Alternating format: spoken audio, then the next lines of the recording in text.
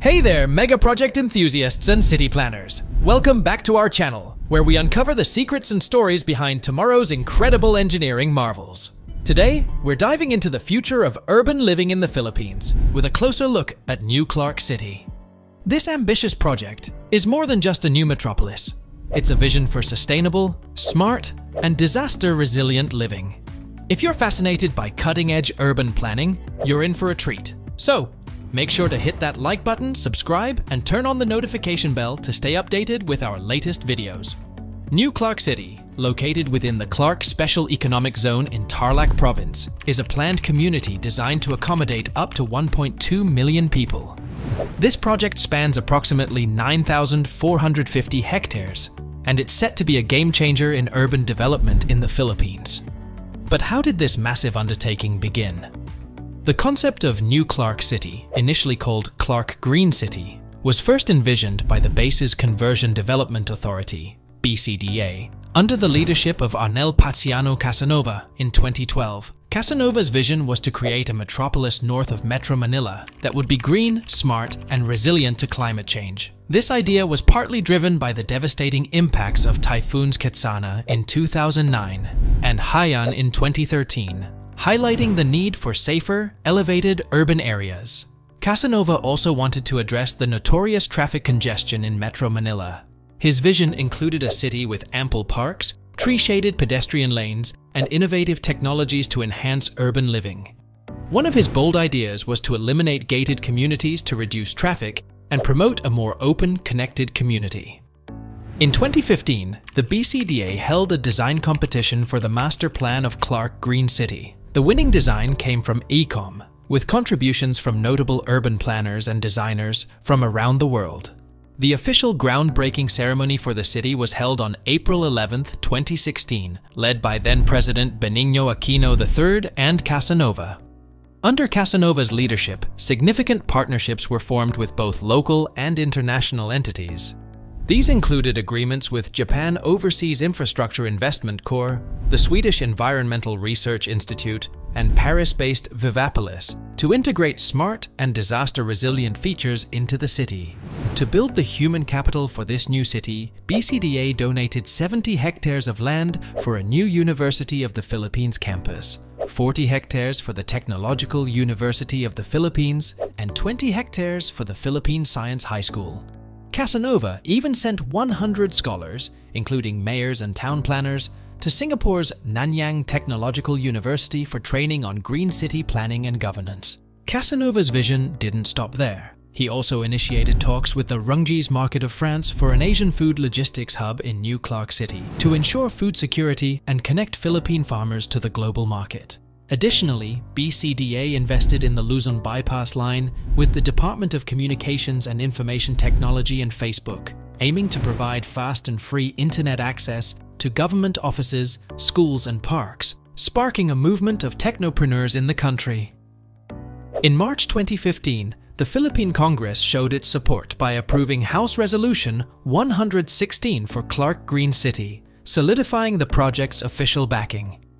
After Casanova's tenure, the project continued under BCDA President Vince Dizon. By 2018, the development of Phase 1A of the National Government Administrative Center, NGAC, began. This phase included the construction of the new Clark City Sports Hub, which played a crucial role in the 2019 Southeast Asian Games. In 2020, plans for an agro-industrial hub were unveiled to support farming communities and strengthen food security in Luzon. Additionally, a Memorandum of Understanding with the British Embassy Manila was signed to design the NCC Central Park and develop affordable housing projects. Initially named Clark Green City, the planned city was renamed to the present New Clark City during the Duterte administration. New Clark City is strategically located within the former US military base of Camp O'Donnell, nestled between the Sierra Madre and Zambales mountain ranges. This location offers natural protection from typhoons and is situated at a minimum elevation of 54 meters above sea level, mitigating flood risks. The Philippine Institute of Volcanology and Seismology has also assessed the area as relatively less prone to earthquakes. The city is designed with numerous green spaces. Out of the 9,450 hectares, only 3,500 will be developed, leaving the rest for green and open spaces, making it a green city. At the heart of New Clark City, you'll find the Capas National Shrine, a memorial for Allied soldiers who perished during the Bataan Death March in World War II. The city also plans to feature a 44.8 hectare central park, making it a true green city.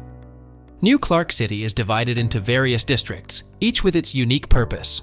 The National Government Administrative Center, NGAC, spans 200 hectares and will host crucial government facilities, including a disaster recovery center and a satellite office for the President of the Philippines.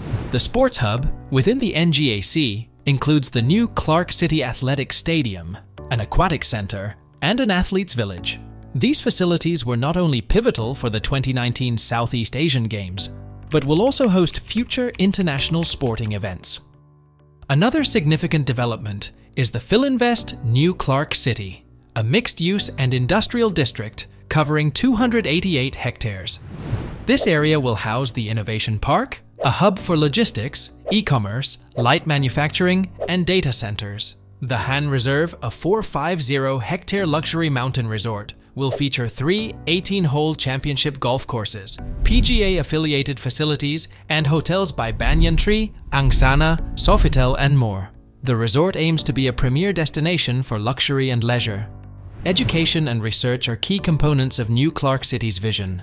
The city will host campuses for the University of the Philippines, Technological University of the Philippines, and Philippine Science High School. It will also be home to the Virology Science and Technology Institute of the Philippines and the National Academy of Sports. Other notable institutions include the Bangko Sentral ng Pilipinas Currency Production Facility, the Supreme Court Judiciary Regional Center, and the National Bureau of Investigation Regional Office. New Clark City will be well connected through various transportation systems. The Clark Loop, a bus rapid transit system, will link NCC to Clark International Airport and other areas within the economic zone. Future plans include a railway station for the North-South Commuter Railway, connecting NCC to Metro Manila, and the Subic-Clark-Tarlac Expressway for road connectivity. Recently, the BCDA signed an agreement with Japan-based Zenmov Inc. and Philippine-based MC Metro Transport Operation Inc. for a demonstration of an energy-efficient and smart public transportation system within New Clark City. New Clark City's future prospects are incredibly promising.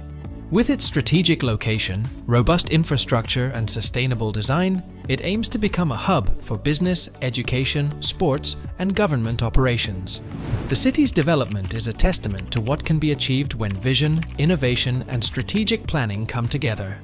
The city is not just about infrastructure, it's about building a community that values sustainability, resilience, and quality of life. From its green spaces and disaster-resilient features, to its cutting-edge transportation systems and educational institutions, New Clark City represents a new paradigm in urban development. New Clark City is not just a new urban development, it's a bold step towards a more sustainable, resilient, and connected future.